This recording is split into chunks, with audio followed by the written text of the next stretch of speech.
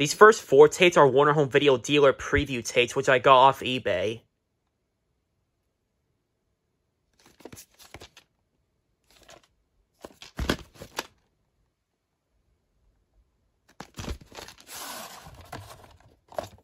April 30th, 1986. This has the Lopez black screen of death at the end. Same thing with these next two.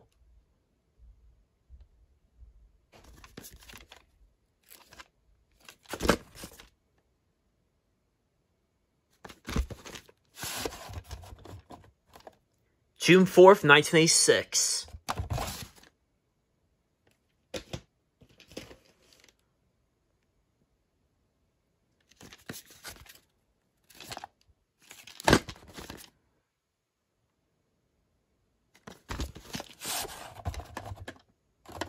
September 15th, 1986.